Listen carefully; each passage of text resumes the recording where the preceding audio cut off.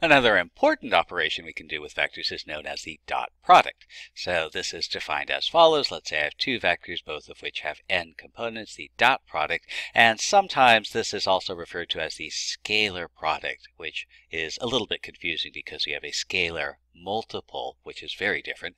Uh, the dot product is going to be the sum.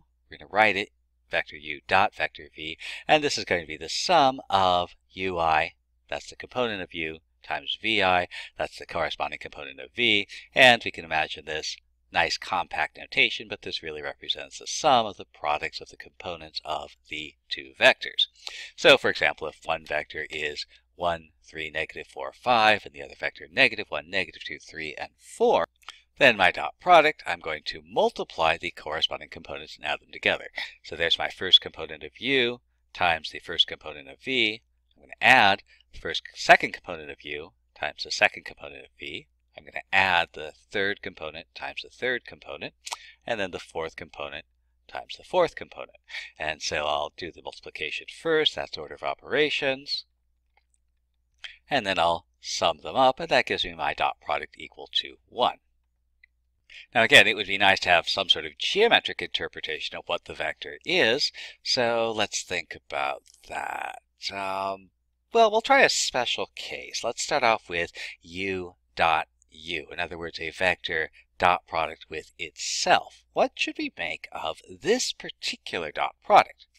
Well, again, we can view a vector as giving directions from a point to someplace else, and it's easiest to think about this as giving the directions from the origin to a terminal point. So from the origin to a terminal point. point, and again, I should emphasize, we don't have to start at the origin. We can start anywhere we want to. The vector tells us how to get from some point to some other point. It's merely convenient to imagine that we start at the origin because if we do that, the point we end up at, the terminal point, has the same coordinates as our vector does. So let's think about that as a set of coordinates. Well, what do those coordinates mean? Again, here's that algebra to geometry transition. Algebraically, I have the coordinates of a point. Geometrically, well, the first coordinate, if I'm in R2, the first coordinate tells me horizontal distance, the second coordinate tells me vertical distance, and the thing that's note worthy here is that I have two sides of a right triangle. And I know what that third side is. I can find the third side because I know the Pythagorean theorem.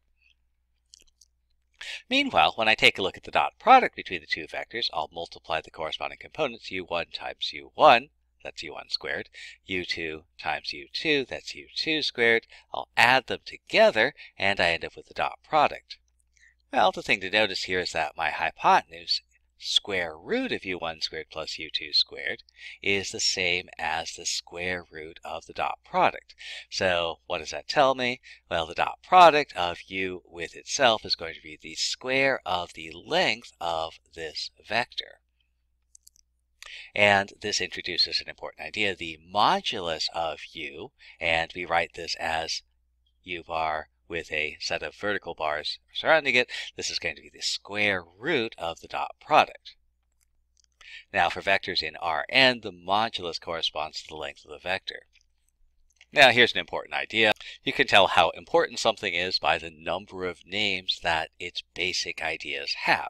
And since linear algebra is only used by a few specialists in a very limited number of fields, well actually, linear algebra is used by nearly everyone in nearly every quantitative field. Uh, it is probably used by more scientists and researchers and engineers than calculus is. Uh, so this is something that's very, very, very, very, very, very, very common.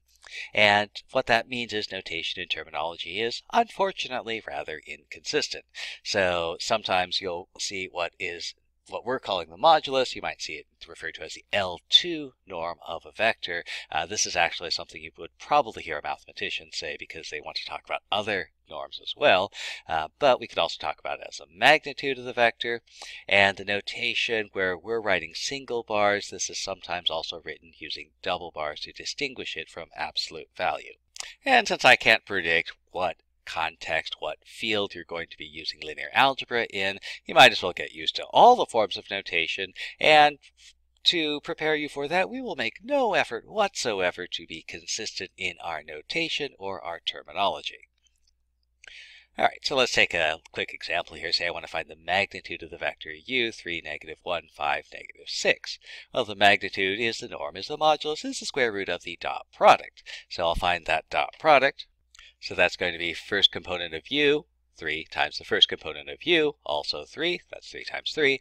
Second component of u times the second component of u. Third component times the third component fourth component times the fourth component. And so I add those together. And after all the dust settles, I get the magnitude square root 71. And if I want to view it this way, this is a vector in R4, and the length of that vector is going to be square root of 71. Uh, or the distance from the origin to the terminal point of the vector is also going to be square root 71.